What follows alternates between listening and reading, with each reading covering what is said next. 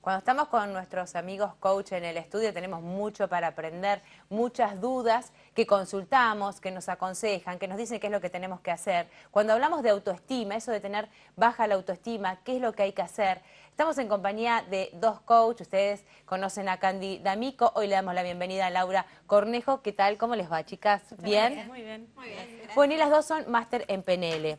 ¿Cómo se aplica PNL con el tema de la autoestima, Candy? Wow, qué interesante. Em, bueno, y vamos directo ahí. Vamos directo ahí, sí, sí, sí, es cierto. Bien, eh, lo que tiene para proporcionarnos la PNL en ese sentido es trabajar con nuestras creencias. ¿sí? ¿Y qué de las creencias sería esto de qué creo de mí? ¿sí? Las creencias influencian nuestra forma de ser, nuestra forma de actuar en el mundo, de comportarnos. Y justamente, sí, depende de las creencias que tenga, influencian en mi autoestima, influencian en la forma de intervenir en el mundo, de las relaciones que estoy teniendo, de los resultados que estoy teniendo en relaciones con otros y conmigo mismo. Entonces, de ahí la autoestima la podemos revisar a través de lo que es las creencias. Laura, y lo difícil que es romper con esa estructura, con esas creencias que tenemos desde que nacemos. Exacto, las creencias las matrizamos desde el momento en que nacemos. Eh, un poco influencia en nuestros padres, la educación que nos dan ellos, la educación que nos brinda la escuela, las experiencias que vamos teniendo, la cultura en gran parte. Nuestras creencias en el mundo occidental son muy diferentes a las creencias en el mundo oriental. Entonces la cultura también influye mucho. Y lo que fundamentalmente hacen estas creencias es eh, generar nuestros pensamientos. Y desde nuestros pensamientos nos relacionamos eh, con el mundo que nos rodea. Eso es lo importante de, de poder distinguir esas creencias y poder trabajar con ellas. Y bueno, la PNL es una herramienta muy útil en, esto de trabajar y descubrir nuestras creencias. Y podemos citar ejemplos de mm, el no puedo, no, no lo voy a lograr, esto me resulta difícil. Es como que la, negación está por encima de la posibilidad quizás que tenemos de, de concretarlo, ¿no? Exacto, sí, sí, sí. Esa, tenemos una forma de empezar a revisar, que es esto de empezar a preguntarme, ¿qué creo de mí? Claro. ¿Qué creo con respecto a mi trabajo? qué creo con respecto a mis relaciones, al amor, al país, ¿sí? al lugar que ocupo, a mi familia. Desde ahí, o sea, con preguntas, y esto de empezar a preguntarme, le empiezo a revisar.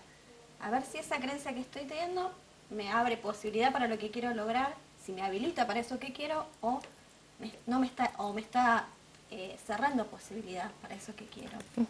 Laura, ¿eso sería la conversación interna que tenemos, lo que está mencionando Candy? Siempre estamos en una conversación interna y va a depender precisamente de nuestras creencias qué tipo de conversación tengamos con nosotros mismos. Podemos tener estas conversaciones de yo no puedo, eh, yo no sé, no sirvo para esto, eh, esto no es para mí, que vienen todas de procesar la información que nos viene mediante nuestras creencias limitantes.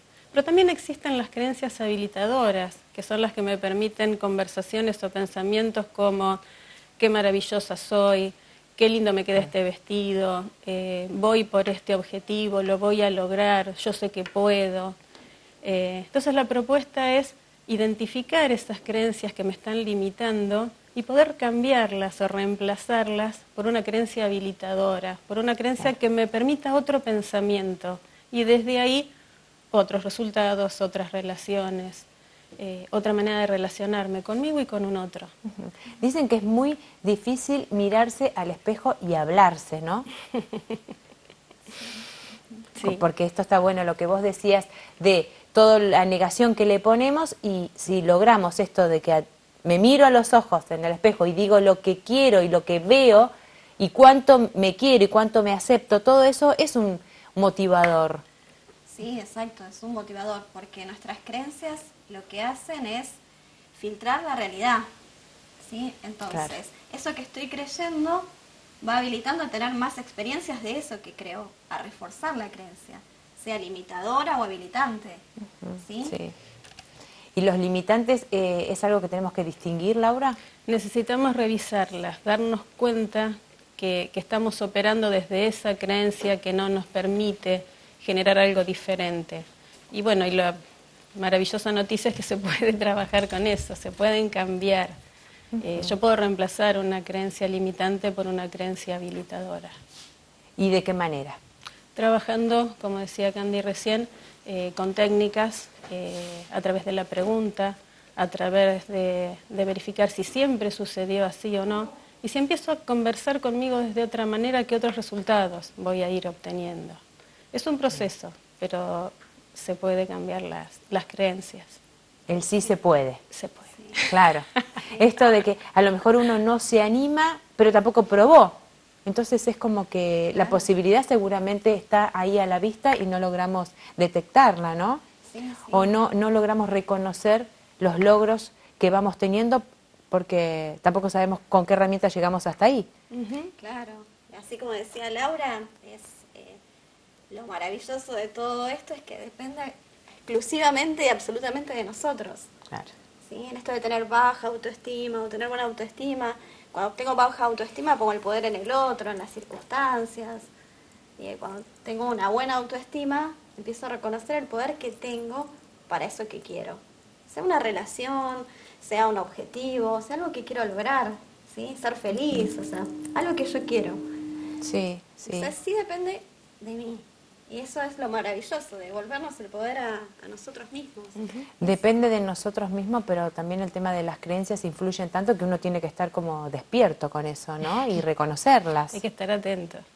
Hay que estar atento Claro. a, a cómo nos hablamos a nosotros mismos. Bien, ahora dentro de unos días, el 15 de mayo, se hace una charla informativa eh, sobre PNL en la Escuela Tradicional de Coaching en 5, a ver, ayúdenme, 42 y 43. 42 y 43, eh, número 531. Exacto. Bien, ¿en qué va a consistir esta charla? Vamos a estar informando qué es lo que qué es la PNL, qué vamos Bien. a estar haciendo durante este año en La Plata, que es el primer nivel. Y bueno, estamos acá con Lau re entusiasmadas de, de que conozcan, de que vengan a ver qué es, de qué se trata. Y bueno, Bien. somos unas apasionadas de esta disciplina. Bueno, porque es la primera vez que se va a dar, Sí. ¿no? Está, o sea que va a empezar la formación acá, Sí, ¿no? ¿Y cuándo sí. es el comienzo? El lunes 22 de mayo comenzamos con la formación. Sí. Reiteramos entonces, en la Escuela Tradicional Latinoamericana de Coaching, 542 y 43, número 531, y hay una charla informativa el 15 de mayo y el 22 el comienzo, lo dije bien. Exacto. Perfecto, bien. bien. ¿A qué hora es el comienzo el 22? De- a las 18 horas. Perfecto, chicas, mucha suerte y muchas Ay, gracias. muchas Gracias gracias, por la Muchas oportunidad. gracias. Hacemos una pausa muy cortita, ya venimos.